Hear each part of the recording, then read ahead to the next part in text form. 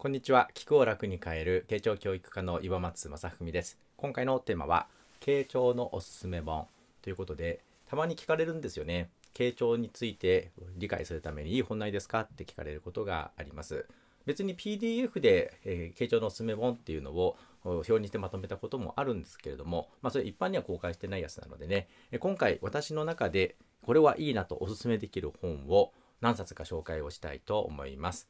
このようにこのチャンネルでは傾聴についての深い話をしていきますので、よろしかったらチャンネル登録をしてください。はい。えー、それではですね、まず最初に、まあ、まず、傾聴のおすすめ本と言ったら、おすすめしないわけにいかないのが私の本でありますね。えー、手前味噌ではありますが、この聞く力の教科書、えー、今からですね、約6年前、え、2015年に発売になったこの本なんですが、え、この本は傾聴の今からですね、学びたいという方の入門の方、初めて傾聴を学ぶ方に優しい本になっていると思います。そして表面的すぎずにですね、本質の部分をしっかり書いてあって、えー、要するに何が書いてあるかっていうと、もし傾聴が上手になりたいなら、自分を楽にしてください。そして自分を楽にしながら聞く。その方法が書いてあるのがこの本ですので、よろしかったらチェックをしてみてください。概要欄にリンク入れておきます。そして最初にお知らせになりますが、この本、えー、発売から6年経ちまして、まあ、そろそろ絶版かなと、廃版かななんて思ってたんですが、先日出版社さんの方からご連絡をいただきまして、なんとですね、えー、中身を若干改訂した改訂版として新しく発売されることになりました。それがですね、こちらです。まだ本がないんですけども、え連絡いただいたばっかりなんですが、これも Amazon の方でね、予約が始まってるそうですけども、まあ、表紙のデザインもだいぶ変わりますね。色合いも変わりますが、えー、目立つ形になってんじゃないかなと思います。6年経つとやっぱり私の中で、まあ、捉え方が変わる部分とか私自身が成長する部分っていうのが出てきますのでねその辺の表現とか内容を私の感覚的に正確に皆さんのよりお役に立つようにということで改訂したのがこちらの本になりますのでよろしかったら Amazon でチェックをしてください。はい、これがまず1冊目。まあ、入門書として本当にお勧めしております。はい、それからまあこれは少し応用になりますがカウンセリングスキルを知りたい方であれば私の2冊目の本その聞き方では部下は動きません。えこの本をお勧めします。傾聴ですね。こちらの傾聴をベースにしていわゆる仕事とか心理カウンセリングとかコンサルティングとかそういう問題解決の起承転結につなげる方法がここに書いてあります。これ実際に私がまあ、ビジネスコンサルだろうが心理カウンセリングだろうがキャリアコンサルティングだろうが使ってる流れが全部書いてある本ですのでもちろん基本的な傾聴力がないとできない部分はありますがカウンセリングのね流れとか問題解決の流れを知っていただきたい方にはこれはおすすめの本です。はいまあ、今のは私の本が2冊なんですけどもそうじゃない本で私がこれまで17年間の傾聴人生の中で本当にお世話になってきた本っていうのを何冊かご紹介したいと思います。えー、まあいろいろ細かく言うと何冊もあるんですけどもその中から今日は3冊ご紹介します。はい、1冊目こちらですね。本物の傾聴を学ぶというのの下巻初めてのカウンセリングの入門下巻ですね。本物の傾聴を学ぶ諸富義彦先生の本です。これ発売だったのいつかな ?2007、8年かな？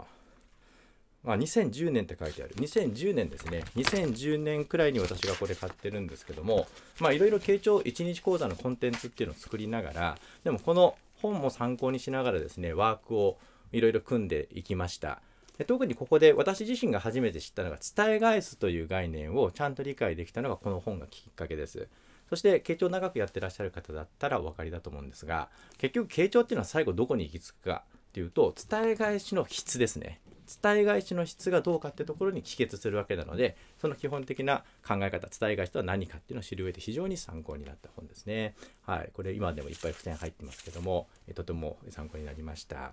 はい、でも最近これを見返すことはあんまりないですね。私の中で咀嚼できたもので、まあ、十分にやっていけますので、まあ、本そのものを見ることはありませんが、お世話になった本です。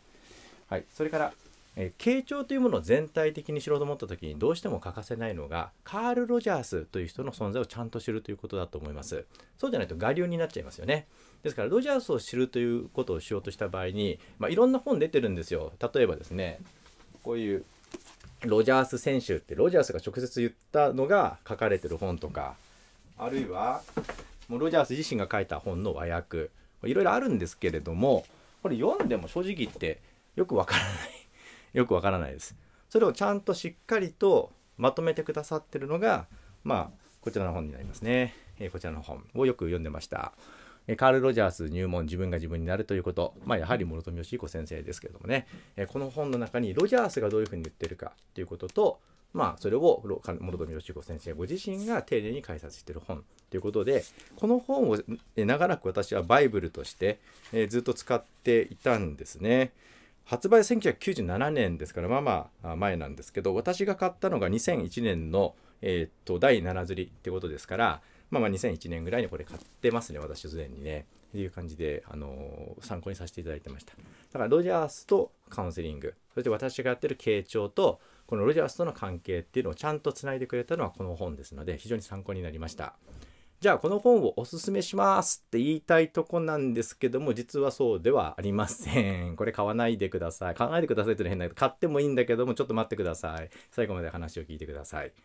実はですねこの2021年の3月の末にこの本の中のエッセンスをだいぶ抽出してさらに新しく諸富先生が新しく出した本があります。これ前の本。これ、あ、これが前の本。あこっちか。これに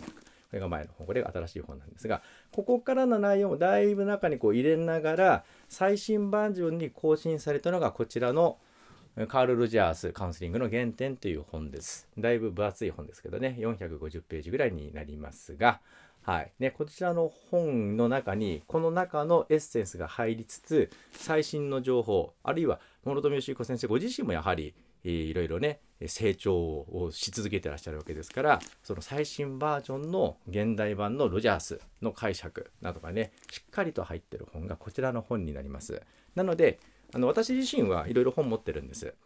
ロジャースとか傾聴関係の本でいうと多分うん100冊はいかないですけど50冊以上はありますね。一通り傾聴というのが書いてあれば一通り手に取ってみるのでね、えー、あるんですけども、えー、たくさん傾聴の本を買う必要はありません。まあ、もしねあの実際に何をするかっていうのを知りたいんだったら先ほどのこれ私の本を読んでいただけるといいんじゃないかなと自信を持ってこれはあこれはというか